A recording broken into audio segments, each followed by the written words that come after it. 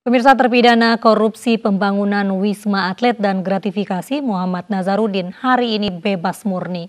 Mantan bendahara umum Partai Demokrat tersebut harusnya bebas tahun 2024, namun bebas lebih cepat lantaran mendapat sejumlah remisi.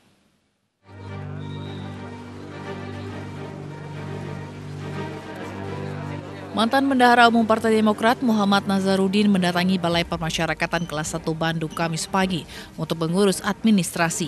Nazarudin sebelumnya telah menghirup udara bebas setelah keluar lapas suka miskin sejak Juni lalu karena memperoleh cuti selama dua bulan.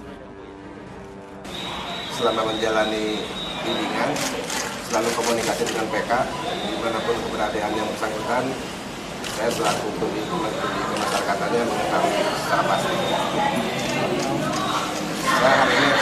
menyerahkan surat selesai menjalani masa CMB-nya.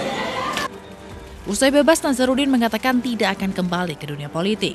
Kan saya lebih fokus gimana mengejar akhirat. Kalau soal di dunia, biar Allah yang atur. Nah, yang penting saya fokus saja untuk mengejar akhirat ke depan, gimana bisa bangun masjid, bisa bangun pesantren. Fokusnya akan ke depan saya lakukan. Masuk ke politik lagi nggak? Ada rencana ya, nggak, Biar itu Allah aja yang ngatur jalanannya. Yang pasti saya akan fokus pada akhirat.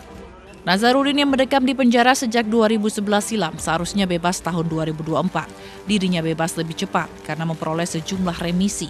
Di antaranya remisi khusus Idul Fitri, remisi umum 17 Agustus, remisi Desa Warsa tahun 2015, dan remisi tambahan donor darah.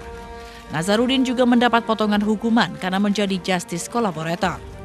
Nazarudin difonis bersalah dalam kasus korupsi pembangunan Wisma Atlet serta kasus penerimaan gratifikasi dan pencucian uang dengan total hukuman 13 tahun penjara. Dalam kasus Wisma Atlet, Nazarudin difonis 7 tahun penjara dan denda 300 juta rupiah. Sedangkan dalam kasus gratifikasi, Nazarudin difonis 6 tahun penjara dan denda 1 miliar rupiah.